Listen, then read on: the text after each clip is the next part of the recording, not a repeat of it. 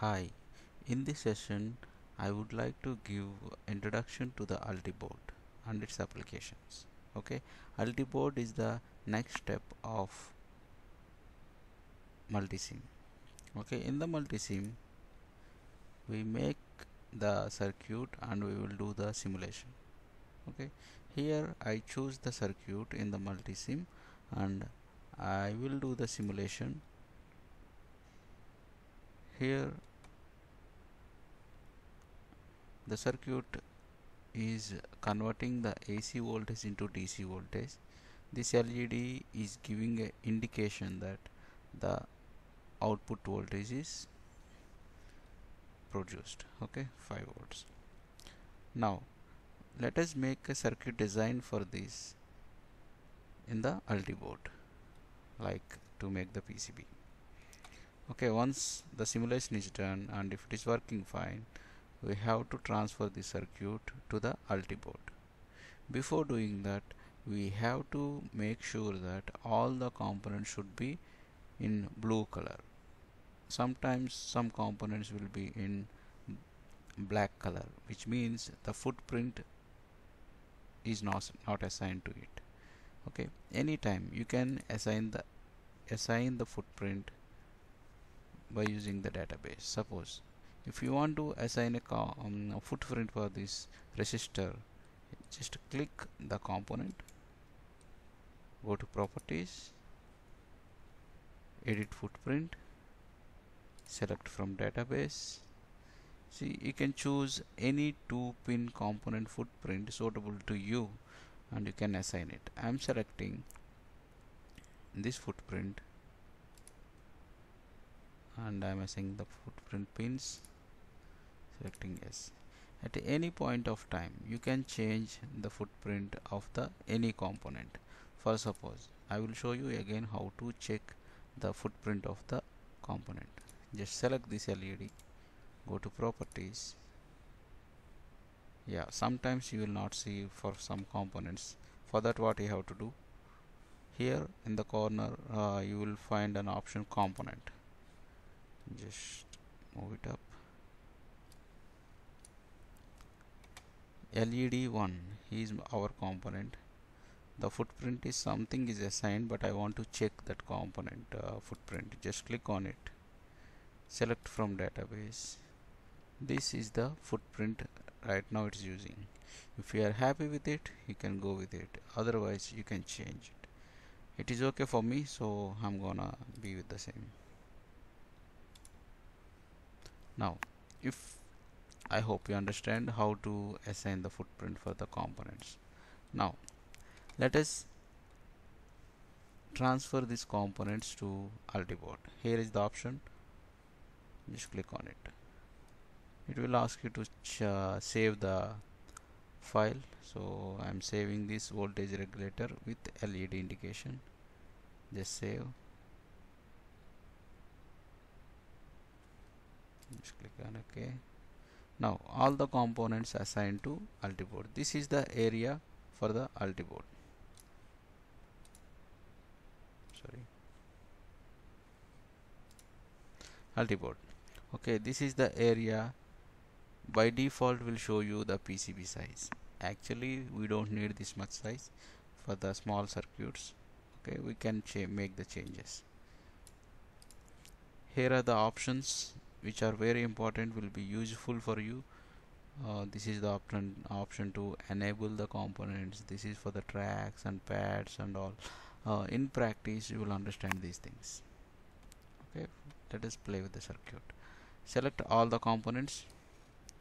Place them in the working area. Now arrange them in order you can zoom in and zoom out by using the mouse. This is the first I will choose the voltage input source. The pattern is your wish. Uh, you can choose your own version to make the PCB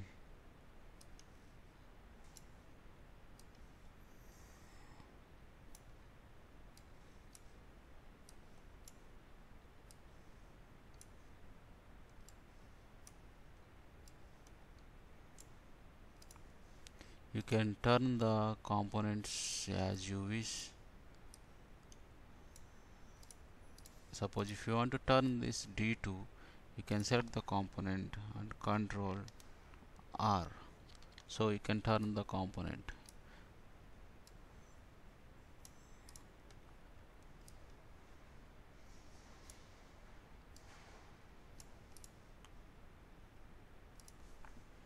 so I'm turning it into.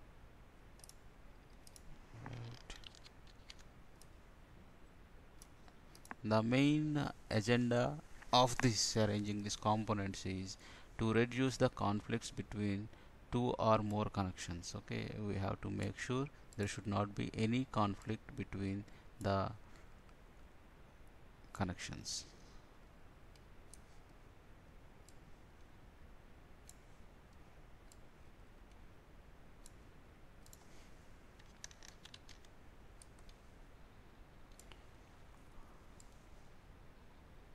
okay here I will explain few skills will be useful for you okay?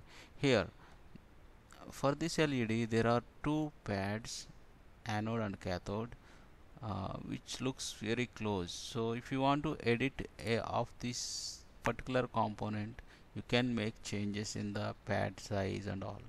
Just select the component go to in place part edit where you can move yeah select the pad here. You can move the pads part away so it will look nice while doing the tracking auto routing okay just click on this. It will go back to the normal screen. Here the potential uh, sorry uh, the voltage regulator pins looks close so go for in place edit and move them away from each other so it will be okay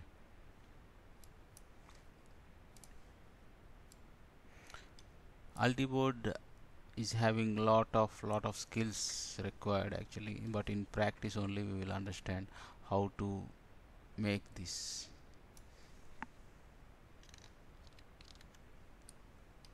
Need more practice on it to understand the each skills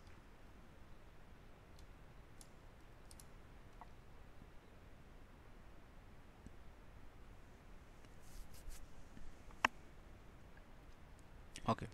Now let us do the next step. Once you arrange the components let us rearrange the pad uh, working area. This looks little big. Let us make it small. Select border outline. Select the border outline. Just make it close. Since our circuit is small this area is enough for us. Now you can do auto routing or you can do the routing manually. Okay auto routing option is here.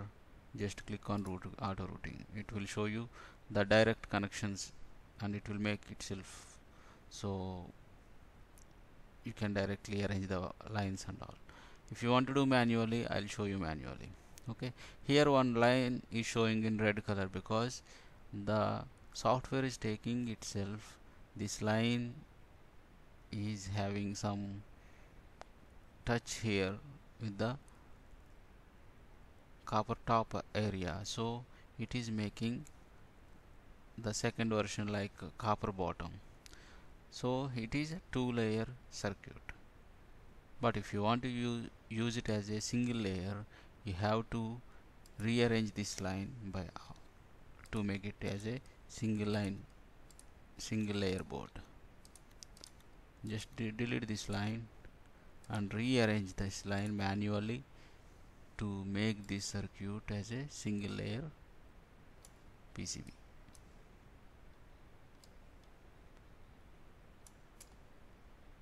now somehow I have to make the connection from here to here manually. I want to choose make it manually. Use this option follow me I want to draw like this way. If it is manually we can choose our own way to have less errors in the circuit. See this is it. This is our PCB now. Now we have to use the proper width of the tracks proper size of the uh, pads component pads. Okay I will show you how to make the changes